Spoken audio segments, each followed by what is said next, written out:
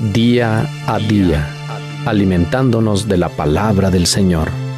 En la voz de Monseñor Enrique Díaz, fortalezcamos nuestra fe.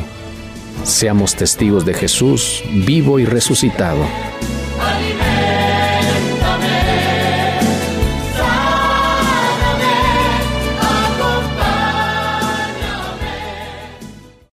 28 de junio.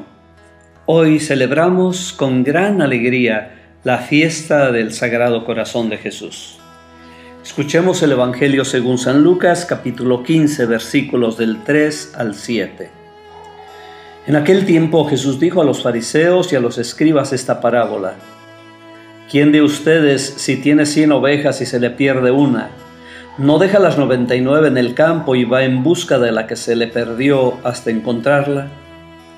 Y una vez que la encuentra, la carga sobre sus hombros, lleno de alegría.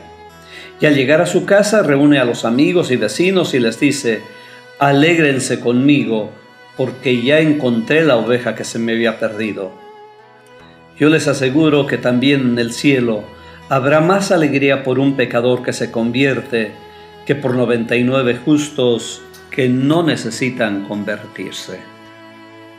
Palabra del Señor. Para expresar el amor se ha usado un signo, el corazón, que refleja ese deseo de todo hombre, amar y ser amado. Por eso este día, al celebrar el amor de Jesús, lo hacemos contemplando el sagrado corazón de Jesús. Todo el mensaje, actividad y tarea de Jesús están basados en el amor. Los evangelios no dicen la palabra corazón, pero usan expresiones que nos la dan a entender. Constantemente Jesús se compadece, se conmueve en su interior, le duelen las entrañas. No es el burdo sentir lástima o decir pobrecito paternalista y encubridor de injusticias, sino el poner el corazón junto al corazón del otro. Es vivir su misma tragedia y es unirse a quien está en desgracia para superar las estructuras injustas. Los evangelios son la revelación de la ternura entrañable de Dios una ternura que se hace concreta y manifiesta en el corazón palpitante y acogedor de Jesús.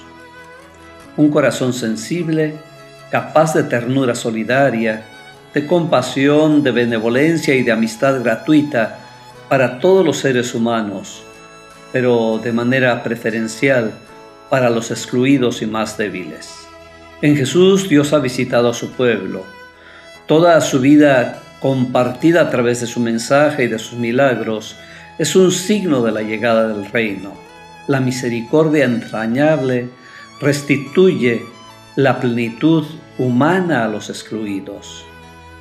Dios se manifiesta en Jesús, devolviendo el rostro humano a una sociedad desfigurada. En la medida en que esta sociedad se acerca al Dios de la ternura, se transforma y humaniza encuentra su verdadera identidad. La ternura representa la práctica amorosa y entrañable de Jesús, su empatía y simpatía con, por y para el que sufre, como lo acabamos de escuchar en la parábola de la oveja perdida. La ternura es la envoltura del amor, el clima de atención y la manifestación afectiva indispensable para que el amor pueda manifestarse en toda su profundidad. Es sorprendente que todos los excluidos, leprosos, pecadores y olvidados sean los interlocutores y beneficiarios de su ternura entrañable. Podríamos decir que la ternura de Jesús es una ternura profética, que es la verdadera práctica de la misericordia.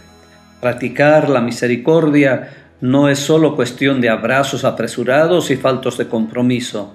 Es la decisión comprometida, afectiva y efectiva de transformar las situaciones y las relaciones equivocadas. Es poner siempre en primer lugar la vida y dignidad sobre todo de los más necesitados. Corazón, ternura, amor. Así es Jesús. El Señor te bendiga en nombre del Padre, del Hijo y del Espíritu Santo.